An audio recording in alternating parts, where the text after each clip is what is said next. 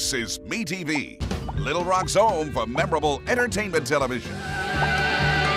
This is KMYA, Little Rock.